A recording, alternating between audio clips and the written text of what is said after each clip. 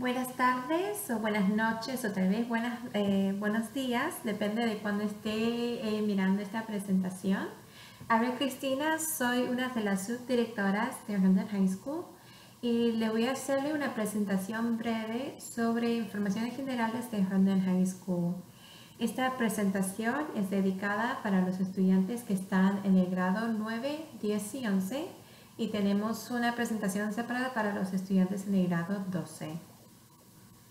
Bueno, voy a empezar a hablar sobre Stinger. Eh, Stinger eh, pasa durante el cuarto periodo. Es donde los estudiantes tienen la oportunidad de recibir eh, ayuda adicional con cada maestro y qué clase se rota a lo largo del año está determinado ya y tenemos un calendario que demuestra estos días en nuestro sitio de web. Pero esto es un tiempo que los estudiantes pueden trabajar más en una materia específica o también recibir ayuda eh, del maestro.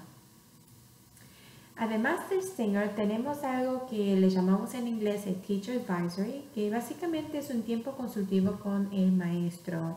Y esto pasa durante el Stinger 1, o sea, la clase eh, primera del primer periodo.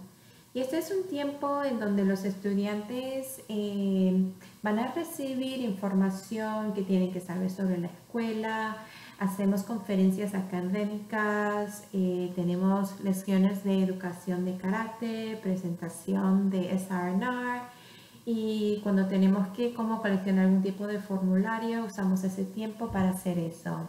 Y esto eh, pasa como en cada tres semanas, en donde tenemos el tiempo consultivo con el maestro.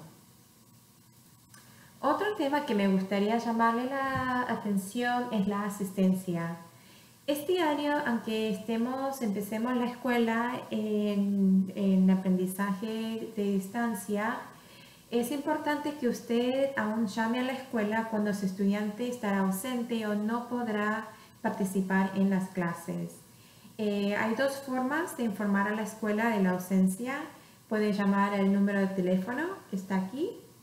Y también este año tenemos un formulario de asistencia que usted puede llenar por el sitio web de nuestra escuela eh, para informarnos cuando su estudiante no va a poder participar en las clases. También, aunque los lunes, eh, porque los lunes no tenemos clases, quiero que ustedes sepan que los estudiantes van a ser marcados automáticamente presentes. entonces, eh, no hay como una reunión, no se requiere que los estudiantes participen en una clase, solamente esperamos que los estudiantes hagan su trabajo en forma independiente. El apoyo de tecnología, eh, hay tres opciones que usted tiene para recibir eh, ayuda con la tecnología, especialmente este año cuando todo está en, en, el mundo virtual. La primera opción es llamar a una línea de tecnología que los padres o estudiantes pueden llamar. Eh, también lo bueno de esto es que hay personas que van a contestar el número de teléfono, este número de teléfono entre las 7 de la mañana hasta las 11 de la noche a los 7 días de la semana. Entonces, si tiene que llamar temprano o tarde, esta es una buena opción eh, para eso. Y si necesita un intérprete, cuando llama puede indicarle que necesita alguien que hable su idioma. La segunda opción es enviar un ticket eh, de solicitud de ayuda a través del portal de apoyo tecnológico que los estudiantes y los padres pueden llenar y tenemos esta información y el enlace en el sitio web de nuestra escuela. La tercera opción es apoyo de cara a cara en nuestra escuela, en Herndon High School. Eh, puede venir los lunes entre las 8 Puede venir los lunes entre las 8 y 11.45 de la mañana y después puede venir entre la 1 y media y las 3 y cuarto. Los martes a viernes eh, puede venir entre las 8 y 10 de la mañana y después a la 1 y media y 3 y cuarto. Si usted necesita ponerse en contacto con el administrador, eh, este, eh, esta es la información que tenemos eh, para que usted sepa a quién tiene que ponerse en contacto. los administradores están cargados de los estudiantes por el apellido.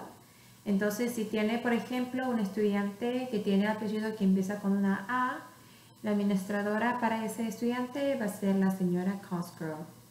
También cada administrador se encarga de un departamento entonces, por ejemplo, si tiene una pregunta específica sobre el Departamento de, Educación Especial, se puede ponerse en contacto con la señora Cosgrove.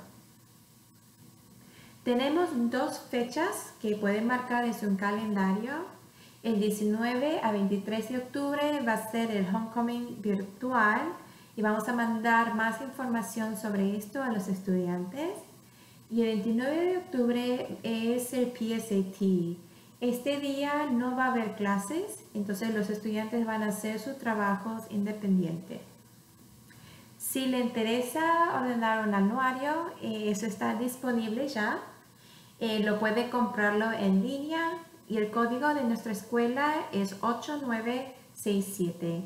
Si tienen alguna pregunta sobre los anuarios, el punto de contacto es la señora Catherine Hans y ahí está su correo electrónico. Muchas gracias por ver esta presentación breve. Espero que disfrute el resto de la noche de regreso a las clases eh, o lo ha disfrutado. Si tienen alguna pregunta, eh, pueden llamar a la escuela o ponerse en contacto con el administrador quien se encarga de su estudiante. Muchas gracias.